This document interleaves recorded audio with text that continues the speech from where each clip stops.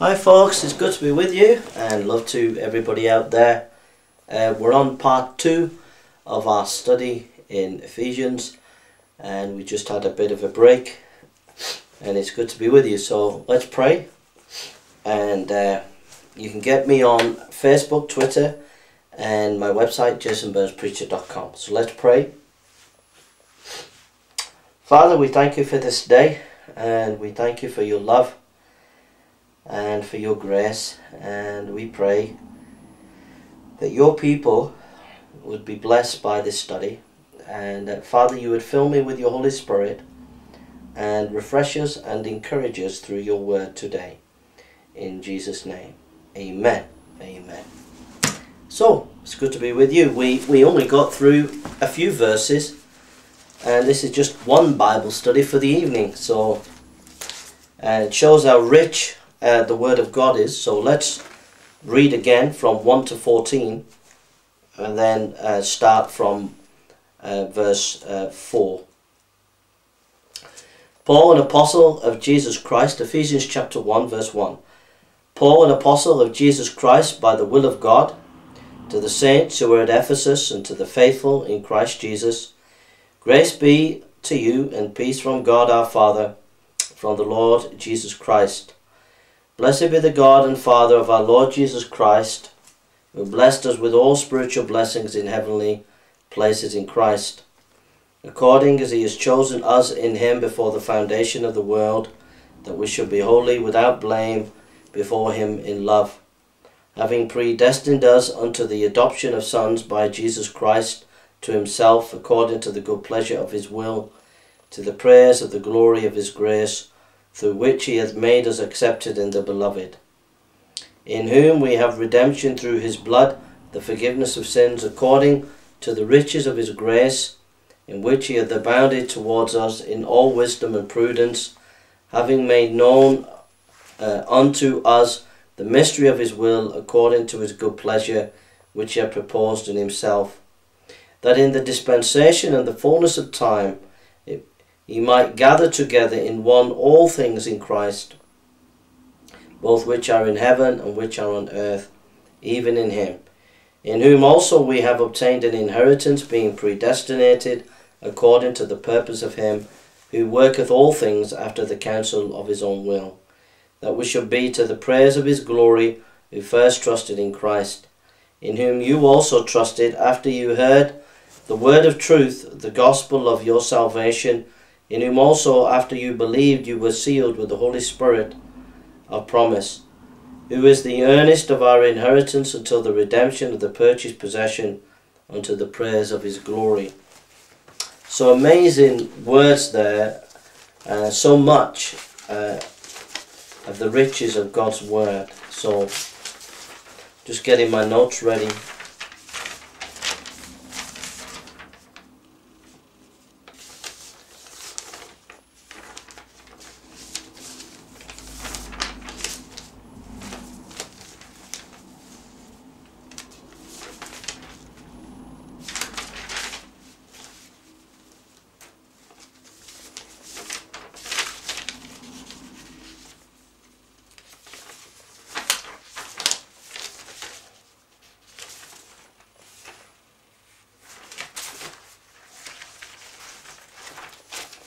Okay. So, it says in verse 4 According as he has chosen us in him before the foundation of the world, be holy without blame before him in love. So we've looked at that in depth. Then we go to verse 5. We read these words Having predestined us unto the adoption of sons by Jesus Christ to himself according to the good pleasure of his will. So here we have what is called the doctrine of adoption. It says having predestinated us. What does the word predestined mean? Well, uh, chosen means before the beginning of time God chose you. Predestinated means uh, it, it's going to happen, that God's already predetermined it. He's already put things in place where it will take place. So, predestinated is kind of the action word for chosen. So, having predestinated us unto the adoption of sons. And um,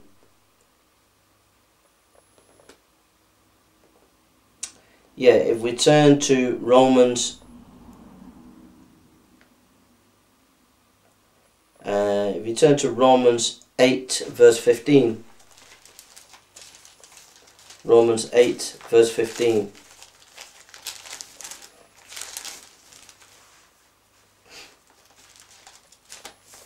sorry, Romans 8, verse 15.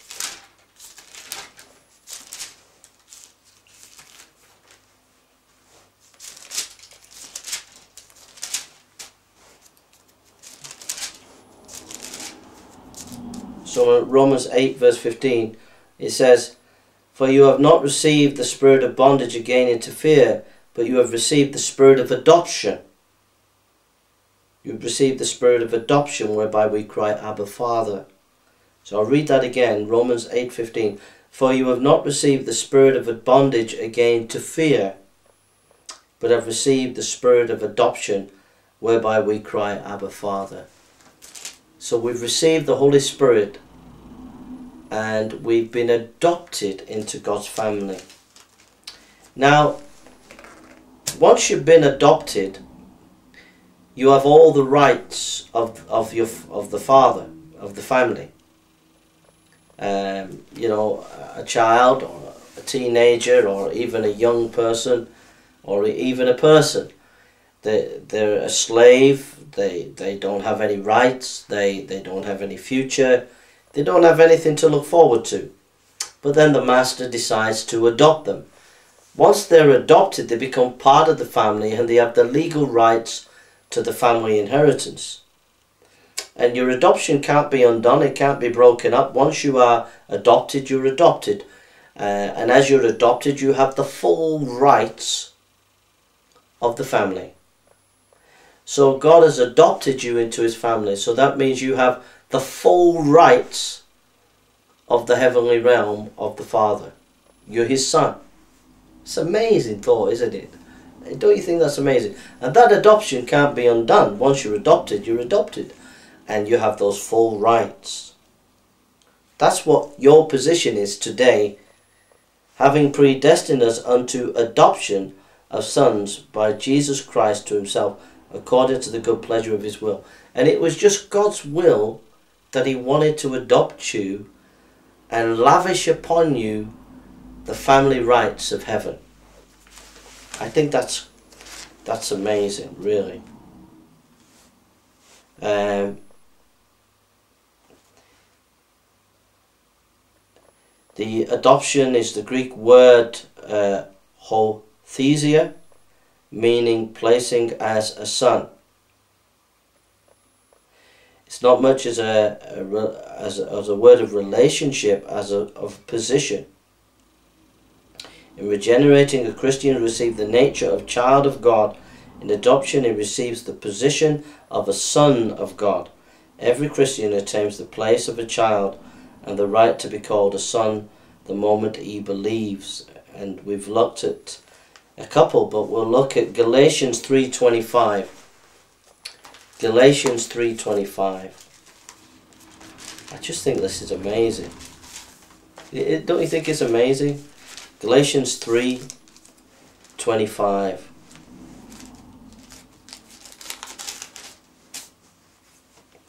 Galatians 3:25 Is it Galatians 3:25?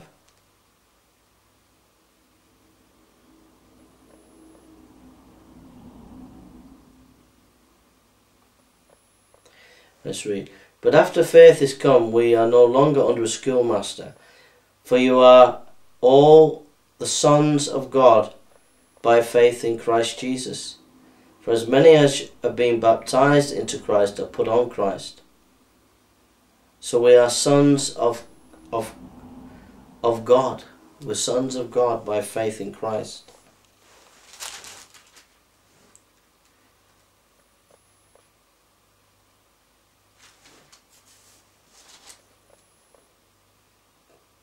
For you are all the sons, Galatians chapter 3, verse 26. For you are all the sons of God by faith in Christ Jesus.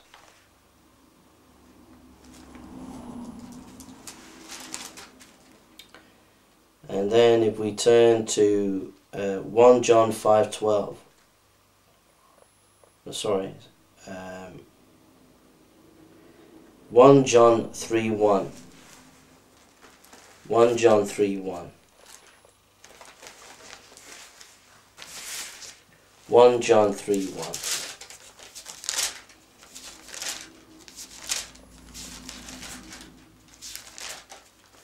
One John three one.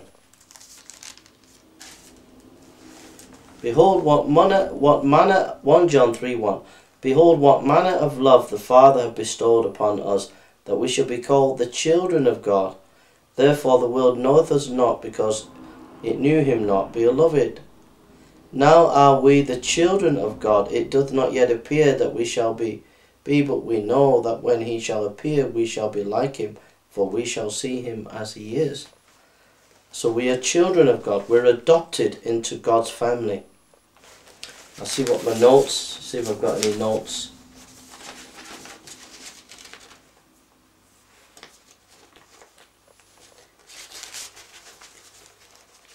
Um, so like I said, you can't be undone in your adoption.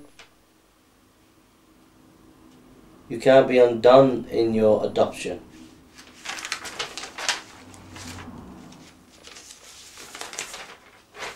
Um,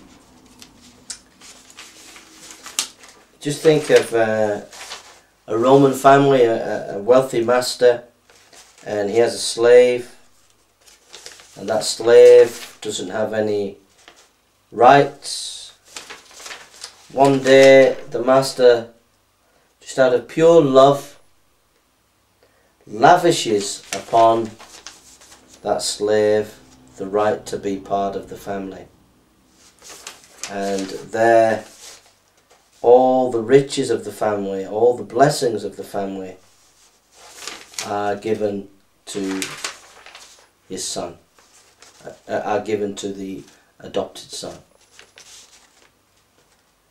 Um,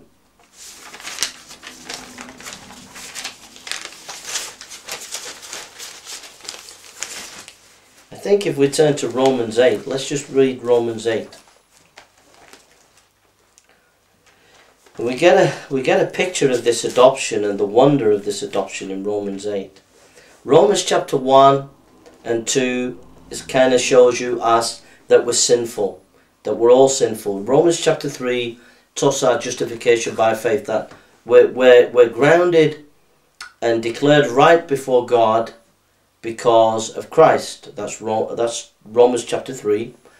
Romans chapter 4 is saying this is no new idea, it came from Abraham. That's Romans chapter 4.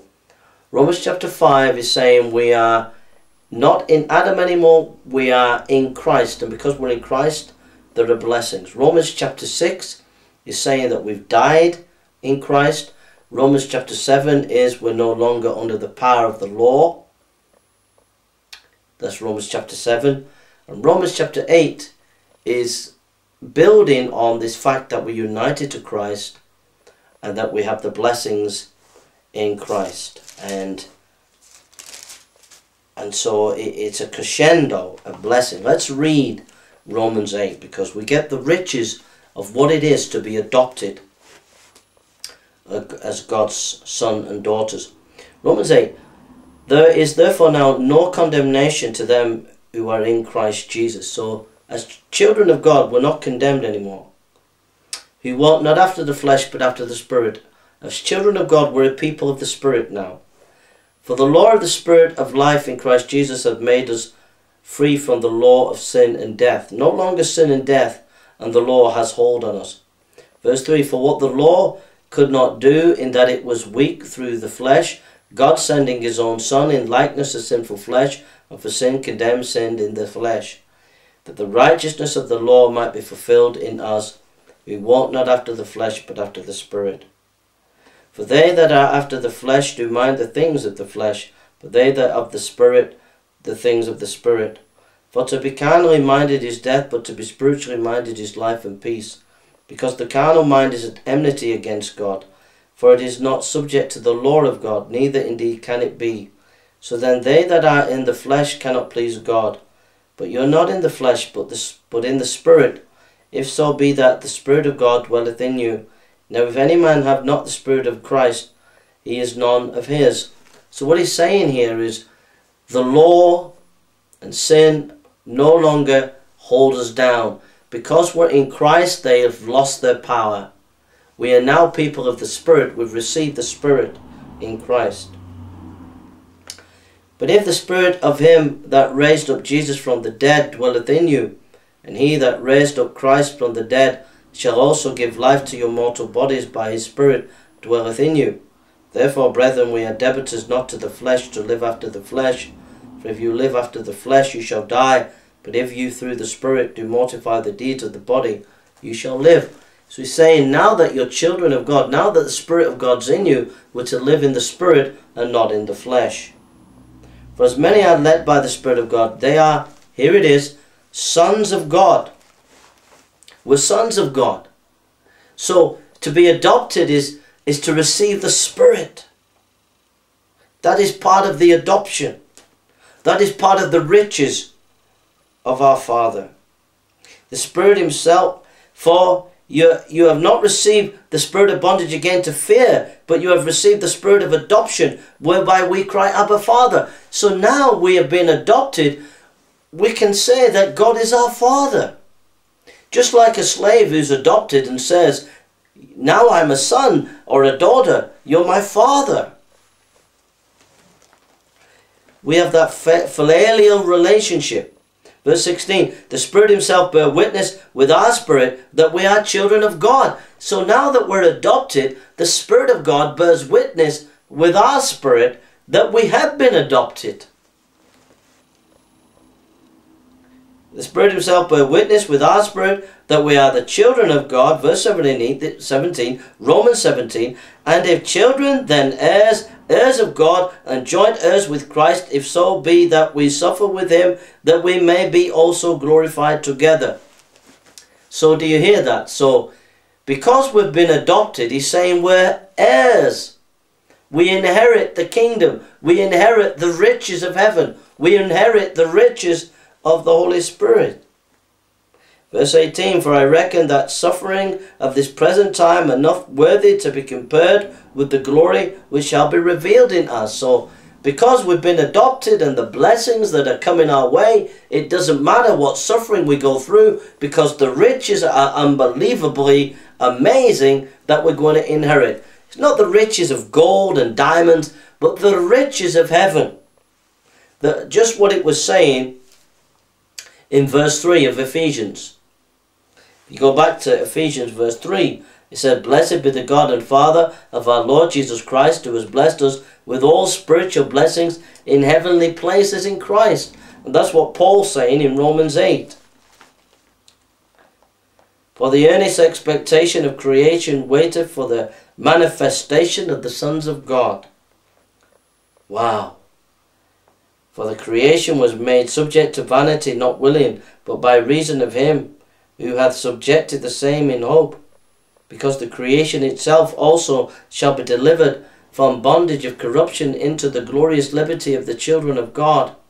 So, creation was subjected to this um, bondage because of man's sin. And, and creation didn't want it. But now, the children of God have been adopted into his family. Creation is is, is, is waiting, expecting the glorious liberty that it will bring upon creation, even through the sons of God. Because the creation itself also shall be delivered from the bondage of corruption into the glorious liberty of the children of God. For we know that the whole creation groaneth and travail in pain together until now, and not only, but ourselves also, who have the first fruits of the Spirit, even we ourselves groan within ourselves, waiting for the adoption, that is the redemption of our body. For we are saved by hope, but hope that is seen is not hope. For what man seeth, why doth he yet hope for? But if we hope for what we see not, then we do we then do we with patience wait for it. Likewise the Spirit also helpeth in, in our infirmity, for we know not what we should pray for as we ought, but the Spirit himself maketh intercession for us with groanings which cannot be uttered. And he that searcheth the hearts knoweth what is the mind of the Spirit, because he maketh intercession for the saints according to the will of God. So what he's saying is, he's saying that we've been adopted into the family, but there's more adoption to come, more um, blessings of our adoption. Our bodies are going to be fully redeemed, and the Spirit of God is in our hearts now, bearing witness and helping us to pray, helping us to intercede, helping us to go through the difficulties of this life uh, while we wait for our full adoption until we have our full body uh, rejuvenated and changed to the glorious heavenly body.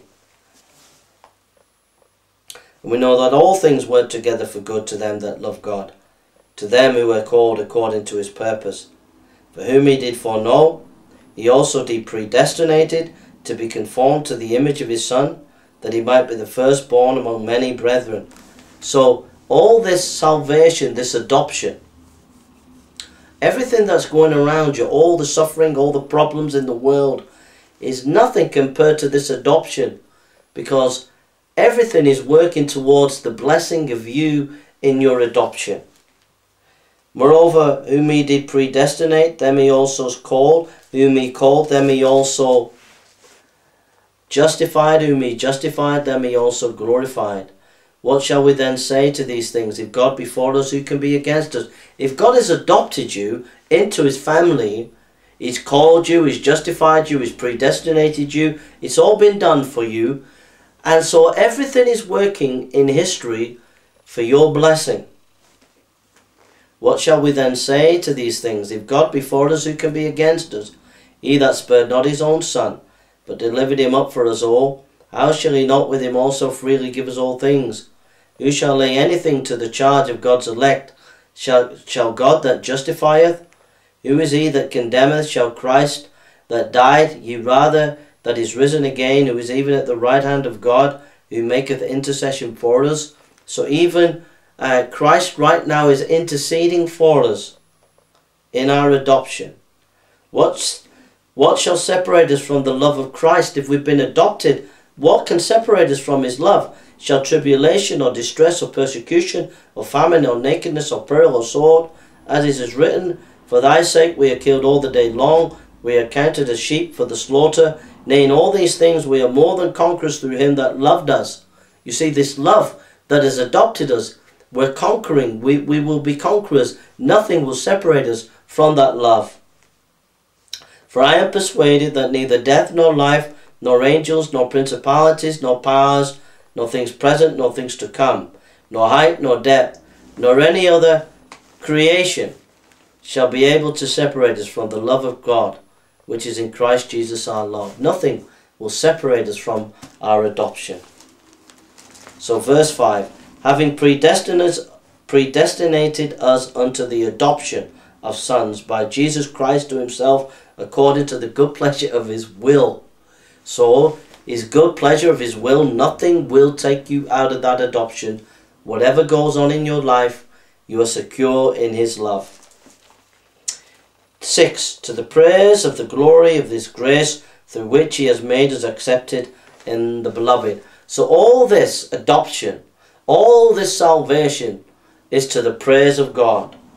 Verse 7 In whom we have redemption through his blood, the forgiveness of sins according to the riches of his grace Redemption as the idea when Moses uh, led the people out of Egypt and went across the, the Red Sea and uh, the people were saved from the attack of uh, Pharaoh and his army. And the people were, God's people were redeemed. Okay? And so God has redeemed us. He saved us from wrath and the enemy of sin and the judgment of the law. We've been redeemed, we've been set free. And it was by his blood in whom we have redemption through his blood. It was the blood, it was Christ's blood. If you remember at the Passover, If you remember uh, the, the, the Jews, when they were coming out of Egypt, they put the blood of the lamb on the doorpost, and it was the blood that set them free. In whom we have redemption through his blood. And this redemption, this, this blood that was shed on Calvary, brought forgiveness of sins. According to the riches of his grace, it was God's rich, un, uh, unmerited favour given to us, grace, unmerited favour given to us, in which he abounded towards us in all wisdom and prudence. This was God's great wisdom, this was God's great prudence, that he would provide this salvation for you and me. Having made known unto us the mystery of his will, according to his good pleasure, which he had purposed in himself. The mystery of his will. The Bible talks quite a bit about mystery. There's a number of mysteries. One of the great mysteries is that God not only chose the Jews, he chose the Gentiles. That's what it's referring to. Verse 10 That in the dispensation of the fullness of time he might gather together in all things in Christ, both which are in heaven and that which is on earth, even in him. This verse is not saying that everybody is going to get saved. It's saying that the plan of God, his people will be brought together. That's what it's saying.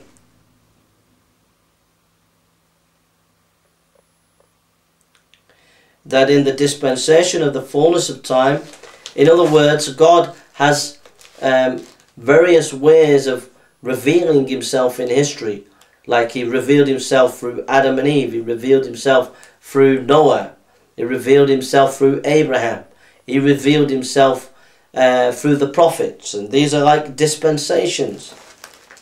And he says that in the dispensation of the fullness of time, so the final period of history. That in the dispensation of the fullness of time, he might gather together all things in Christ which are in heaven and which are in earth, even in him. So the fullness of time, there'll be a day of the fullness of time when uh, those who are saved will be brought all together. Those who have died and gone with the Lord and those who are alive will be brought together as one. And verse 10 Together in all things in Christ. Again, in Christ, in Christ, always in Christ, both which are in heaven and which are in earth, even in him. Verse 11, in whom also we have obtained an inheritance. So we're part of this great redemption, this great cosmic drama of God's people being saved in Christ. Those who have died will be brought together with those that are alive, and we have this inheritance too. In whom also we have obtained an inheritance, being predestined according to the purpose of him who worketh things after the counsel of his own will. God's own will has worked this, has moved this to his own glory, and it's predestinated. In other words, it's worked out absolutely predetermined by God what's going to happen. That he's going to save a people. Verse 12, that we should be to the praise of his glory who first trusted in Christ. So, as we trusted in Christ, as we looked to Christ, and as we got saved, we were predestinated. It was already planned, it was already worked out. But it was to his counsel, it was to his glory. Verse 13, in whom you also trusted.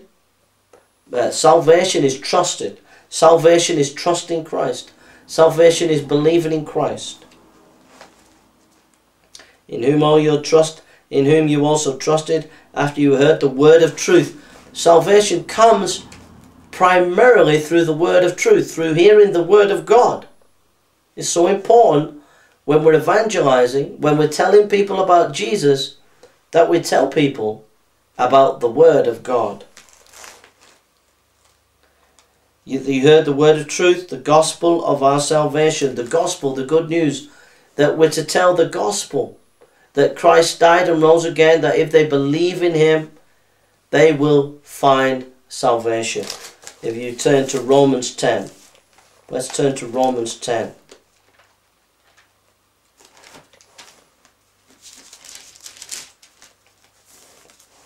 Romans 10.